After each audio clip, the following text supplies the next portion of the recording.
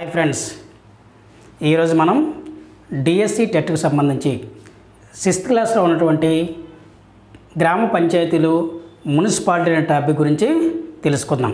గ్రామ పంచాయతీలు మున్సిపాలిటీ అనే టాపిక్ గురించి తెలుసుకుందాం. లెసన్లోకి వెళ్ళే ముందు నేను వీడియో అప్లోడ్ చేసిన వెంటనే మీకు రావాలనుకుంటే నా ఛానల్ని సబ్స్క్రైబ్ చేసుకొని బెల్ ఐకాన్ పైన క్లిక్ చేయండి. గ్రామ పంచాయతీలో మున్సిపాలిటీలో మున్సిపాలిటీలో అంతర్భాగంగా ఇదివరకు మన గ్రామ పంచాయతీ గురించి తెలుసుకోవడం జరిగింది. ఈ టాపిక్లో మనం మున్సిపాలిటీల గురించి తెలుసుకున్నాం.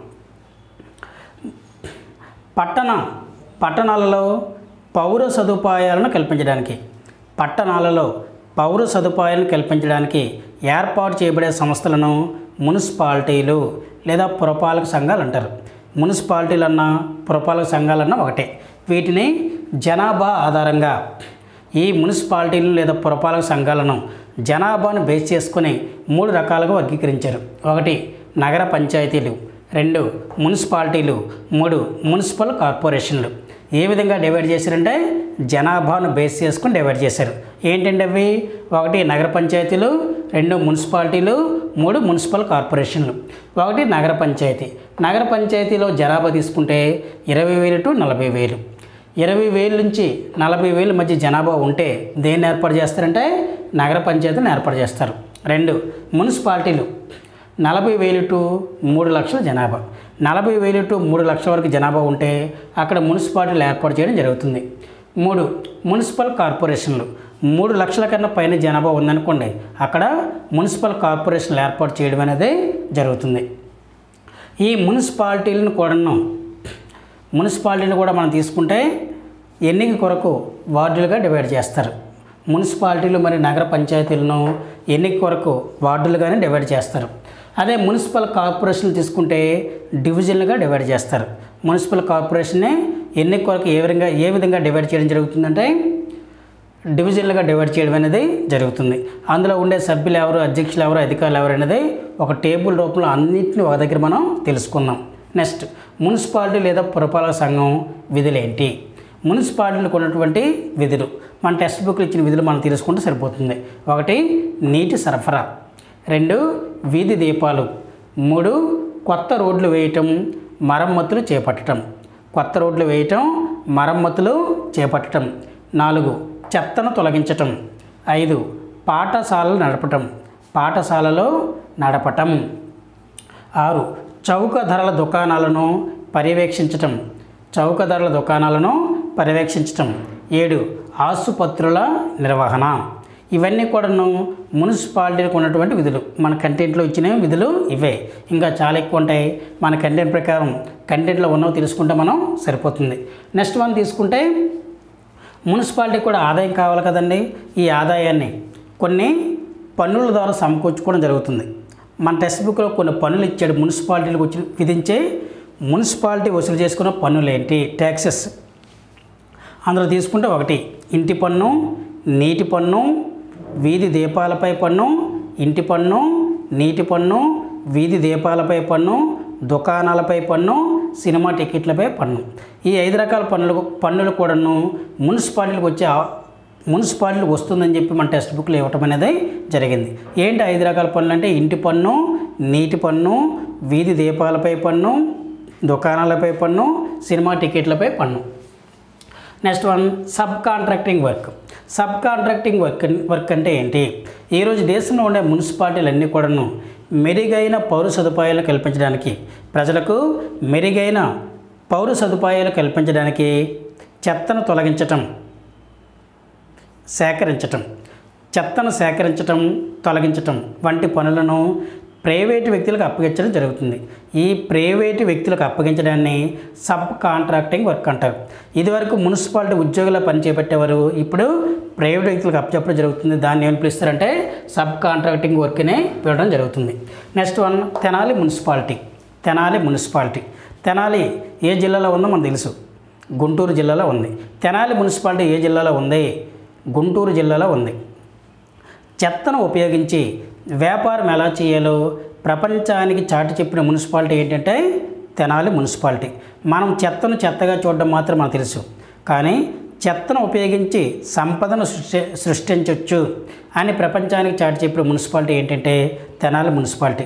ఈ తెనాలి మున్సిపాలిటీ ఏ జిల్లాలో ఉందంటే గుంటూరు జిల్లాలో ఉంది. ఈ మున్సిపాలిటీలో ప్లాస్టిక్ సంచుల వాడకం అనేది నిషేధం. అదేవిధంగా పాలిథిన్ సంచుల వాడకం నిషేధం. వీధులన్నీ శుభ్రంగా ఉంటాయంట. వీధుల్లో ఉమ్ము వేయటం కూడా నిషేధం అంట అది ఫ్యాక్టరీ కావచ్చు ఇల్లైనా కావచ్చు. ప్రారంభంలోనే తడి చెత్త పొడి చెత్తను వేరు చేయడం అనేది జరుగుతుందంట. ఈ తెనాలి మున్సిపాలిటీలో రోడ్డును శుభ్రం చేసే స్త్రీలకు నగర దీపిక అని పేరు పెట్టారు. రోడ్డును శుభ్రం చేసే స్త్రీలకు నగర దీపికలని పురుషులకు స్ట్రీట్ డెకరేటర్స్ స్ట్రీట్ డెకరేటర్స్ అని పేర్లు పెట్టడం అనేది జరిగింది. వీరు రోజులో ఒక సమయం ఏదో ఒక సమయం ఉంటుంది. ఒకే సమయంలో పద్నాలుగు వందల ఇళ్ళ నుండి చెత్తను సేకరించడం అనేది జరుగుతుందంట. పునః వినియోగం చేసిన పొడి వస్తువులను కిలో మూడు రూపాయలకు ప్రైవేట్ వ్యక్తులకు అమ్మడం జరుగుతుంది. ఈ తెనాలి మున్సిపాలిటీలో వంద టన్నుల చెత్త సేకరిస్తే వంద టన్నుల చెత్తను సేకరిస్తే నలభై టన్నుల చెత్తను పునః వినియోగం కోసం అమ్మడం ద్వారా తెనాలి మున్సిపాలిటీకి సంవత్సరానికి పదిహేను లక్షల ఆదాయం రావటం అనేది జరుగుతుందంట. వంద టన్నులు చెత్త సేకరిస్తే పునః వినియోగం చేసినటువంటి నలభై టన్నుల చెత్తను మళ్ళీ వినియోగ అమ్మడం ద్వారా సంవత్సరానికి ఎంత ఆదాయం వస్తుందంటే పదిహేను లక్షల ఆదాయం రావడం జరుగుతుంది. పొడి వస్తువులు ప్రైవేట్ వ్యక్తులకు కిలో మూడు రూపాయలకు అమ్ముతారంట. తడి చెత్తను తీసుకుంటే ఎరువుగా ఉపయోగించడం అనేది జరుగుతుంది.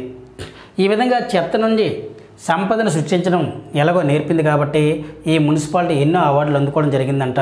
అవార్డులు ఏంటి కూడా మన టెక్స్ట్ బుక్లో మనకి ఇవ్వడం అనేది జరగలేదు. తెనాలి మున్సిపాలిటీలో వీధులను శుభ్రం చేసే స్త్రీలకు ఏమైనా పేరు పెట్టారు? నగర దీపిక. పురుషులకు ఏమైనా పేరు పెట్టారు? స్ట్రీట్ డెకరేటర్స్ అని పేరు పెట్టారు. పునః వినియోగం చేసిన పొడి వస్తువులు కిలో ప్రైవేటు వ్యక్తులకు ఎంత అమ్ముతారు? మూడు రూపాయలకు. వంద టన్నులు చెత్త సేకరిస్తే నలభై టన్నుల చెత్త పునః వినియోగం కోసం అమ్మడం ద్వారా లేదా వినియోగించుకోవడం ద్వారా తెనాలి మున్సిపాలిటీకి సంవత్సరానికి ఎంత ఆదాయం వస్తుంది? పదిహేను లక్షల ఆదాయం రావటం అనేది జరుగుతుంది. మరి ఆంధ్రప్రదేశ్లో మొట్టమొదటి మున్సిపాలిటీ ఏంటంటాడు? ఆంధ్రప్రదేశ్లో మొట్టమొదటి మున్సిపాలిటీ భీమిలి లేదా భీముని పట్నం ఈ మున్సిపాలిటీని పద్దెనిమిది అరవై ఒకటిలో ఏర్పాటు చేశారు. భీములు ఎక్కడుందో మనకు తెలుసు. విశాఖపట్నం జిల్లాలో ఉందన్నమాట. ఈ మున్సిపాలిటీ రెండు వేల పదకొండులో నూట యాభై సంవత్సరాలు పూర్తి చేసుకొని రెండు వేల పదకొండు నాటికి నూట యాభై సంవత్సరాలు పూర్తి చేసుకొని నూట యాభైవ వార్షికోత్సవం కూడా జరుపుకుంది. మన స్టేట్లో మొట్టమొదటి మున్సిపాలిటీ ఏంటంటే భీమిలి లేదా భీమినపట్నం. దీన్ని ఎప్పుడు ఏర్పాటు చేశారు? పద్దెనిమిది అరవై ఒకటి. ఏ జిల్లాలో ఉంది? విశాఖపట్నం. నూట యాభై వార్షికోత్సవం ఎప్పుడు జరుపుకుంది? రెండు వేల పదకొండులో జరుపుకోవడం అనేది జరిగింది. మరి స్థానిక సంస్థలో తీసుకుంటే మనకి గ్రామ పంచాయతీలు మండల పరిషత్తులు జిల్లా పరిషత్తులు నగర పంచాయతీలు మున్సిపాలిటీలు కార్పొరేషన్లు. ఇవన్నీ కూడాను అందులో ఉండే సభ్యులు ఎవరు? ఏమంటారు? అధ్యక్షులు ఏమంటారు? అధికారులు ఏమంటారో మనం ఒక పట్టిక రూపంలో తెలుసుకుందాం. స్థానిక సంస్థ పేర్లు తీసుకుంటే గ్రామ పంచాయతీ. గ్రామ పంచాయతీ సభ్యులు ఏమంటారండి? వార్డు మెంబర్ అంటారు. గ్రామ పంచాయతీ అధ్యక్షుల్ని సర్పంచ్. ప్రతి దగ్గర కూడా మనకి అధ్యక్షులతో పాటు ఉపాధ్యక్షులు కూడా ఉంటారు. ఆ ఉపాధ్యక్షుల గురించి ప్రత్యేకించి తెలుసుకోవాల్సిన అవసరం మనకి లేదు. అదేవిధంగా గ్రామ పంచాయతీలో ఉండే అధికారిని ఏమని పిలుస్తారంటే పంచాయతీ కార్యదర్శి అంటారు. నెక్స్ట్ వన్ మండల పరిషత్. మధ్య స్థాయిలో ఉండేది మండలం. ఆ మండల పరిషత్ని రెండో స్థాయిని మండల పరిషత్ అంటారు. మండల పరిషత్ సభ్యులు ఏమంటారంటే ఎంపీటీసీ. ఎంపీటీసీ అనగా మండల పరిషత్ టెరిటోరియల్ కాన్స్టిట్యుయెన్సీ అధ్యక్షులు ఎంపీపీ అంటారు. మండల పరిషత్ ప్రెసిడెంట్. అదేవిధంగా వైస్ ఎంపీపీ ఉపాధ్యక్షుల్ని వైస్ ఎంపీపీ అంటారు. అధికారి ఎంపీడీఓ అంటారు. మండల పరిషత్ డెవలప్మెంట్ ఆఫీసర్. మూడు జిల్లా పరిషత్. జిల్లా పరిషత్ సభ్యుల్ని జడ్పీటీసీ అంటారు. అధ్యక్షుల్ని జడ్పీపీ అంటారు. జిల్లా పరిషత్ ప్రెసిడెంట్. అధికారిని జిల్లా పరిషత్ సీఈఓ అంటారు. Chief executive officer. Next nagar panchayat. Nagar panchayat సభ్యుల్ని వార్డు మెంబరే అంటారు. అధ్యక్షుల్ని నగర పంచాయతీ చైర్మన్ అంటారు. అధికారిని నగర పంచాయతీ కమిషనర్ అంటారు. Next one municipality. మున్సిపాలిటీ సభ్యుల్ని కౌన్సిలర్ అంటారు.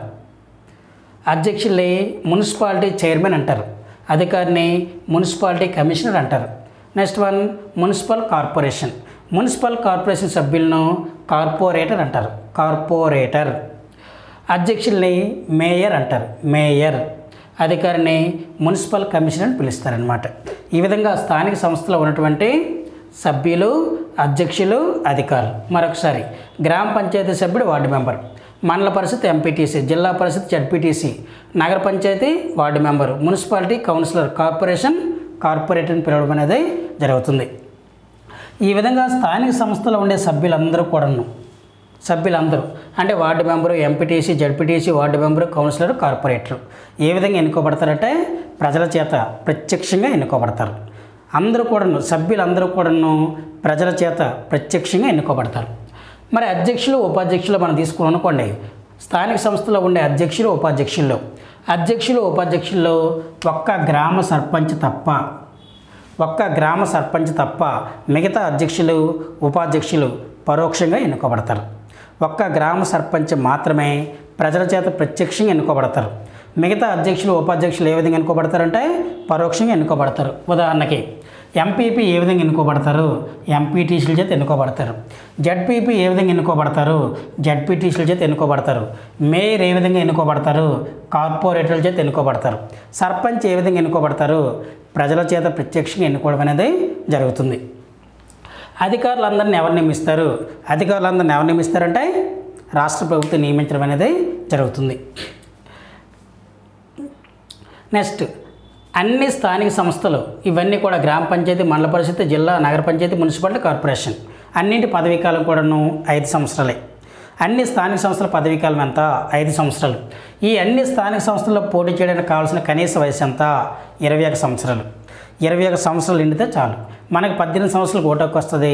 ఇరవై ఒక సంవత్సరాలకు మనం ఎన్నికల్లో పోటీ చేసి స్థానిక సంస్థల్లో ఒకవేళ గెలిస్తే గ్రామాలు పట్టణాల అభివృద్ధికి మనం కృషి చేసే అవకాశం కూడా భారత రాజ్యాంగం మనకు కల్పించడం అనేది జరుగుతుంది. ఈ అన్ని స్థానిక సంస్థలకు అతిపెద్ద ఆదాయ వనరు ఏంటి? ఎక్కువ డబ్బులు ఎక్కడి నుంచి వస్తాయి ఆదాయం? కేంద్ర రాష్ట్ర ప్రభుత్వాలు ఇచ్చే గ్రాంట్స్. వాళ్ళు గ్రాంట్స్ ఏమైనా ఇస్తే వీళ్ళు పనులు చేయగలరు. గ్రాంట్స్ లేకపోతే పనులు చేసే అవకాశాలు అనేవి ఉండే ఛాన్స్ ఉండదు. డెబ్బై మూడు డెబ్బై నాలుగు రాజ్యాంగ సవరణ చట్టాల ప్రకారం పార్లమెంట్ స్థానిక సంస్థల్లో మహిళలకి ఒకటి బై మూడు వంతు స్థానాలను రిజర్వేషన్ కల్పించడం జరిగింది. పంతొమ్మిది తొంభై రెండులో డెబ్బై మూడు డెబ్బై నాలుగు రాజ్యాంగ సవరణ చట్టాల ప్రకారం పివి నరసింహారావు ప్రభుత్వం పివి నరసింహారావు ప్రభుత్వం స్థానిక సంస్థలకు రాజ్యాంగ హోదా కల్పించడం జరిగింది. గ్రామీణ స్థానిక సంస్థలకు రాజ్యాంగ హోదా కల్పించిన రాజ్యాంగ సవరణ చట్టం డెబ్బై మూడు. పట్టణ స్థానిక సంస్థలకైతే డెబ్బై నాలుగు. డెబ్బై మూడు డెబ్బై నాలుగు రాజ్యాంగ సవరణ చట్టాలని పార్లమెంట్ ఇప్పుడు రూపొందించిందంటే పంతొమ్మిది తొంభై రెండులో. ప్రధానమంత్రి ఎవరంటే పివి నరసింహారావు. అదేవిధంగా స్థానిక సంస్థలో ఎస్సీ ఎస్టీలకు జనాభా ప్రాతిపదికగా రిజర్వేషన్లు కల్పించడం జరిగింది. Thank you.